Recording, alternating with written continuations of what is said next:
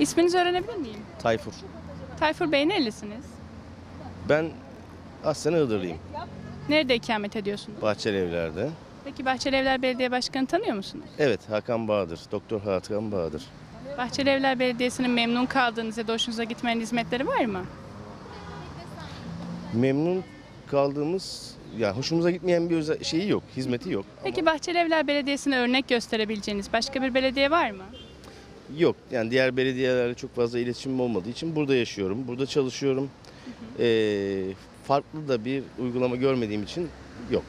Peki daha önce hiçbir dileğiniz ya da şikayetiniz için belediyeye başvurduğunuz oldu mu?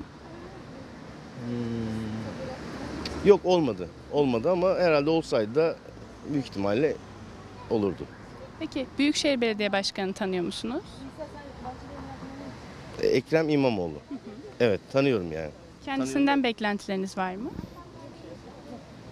Ee, kendisinden bir beklentimiz yok yani.